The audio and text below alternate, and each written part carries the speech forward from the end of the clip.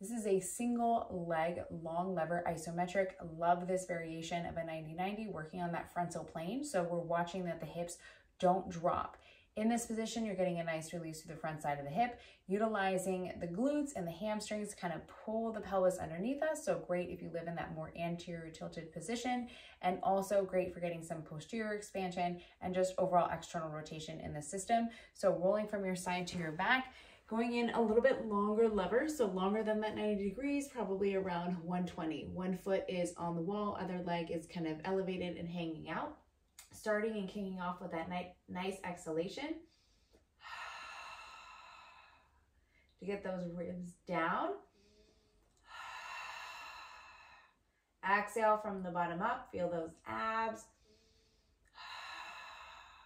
I'm gonna drag down the wall, in this case with my right heel, feel the pelvis kind of pull underneath me as I elevate up off the ground. Play around with your position.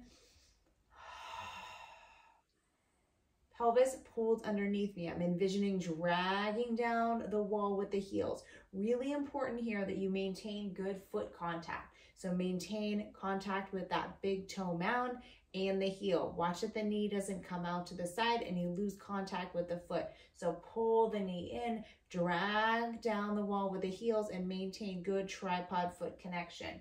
In this position, we're gonna think about the glutes working really hard, the pelvis kind of tucking underneath us. My low back is still connected to the ground, but I'm elevating the pelvis just slightly, pulling down the wall with my heel, and I'm taking three to five breaths right here.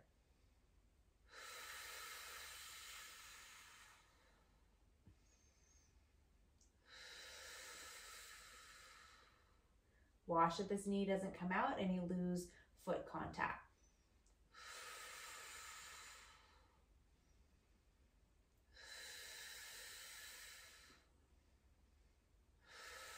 Also watching that you're not dropping the hip down. So keep those hips nice and square. Pull down the wall with the heel. Maintain foot contact. That is your single leg long lever isometric.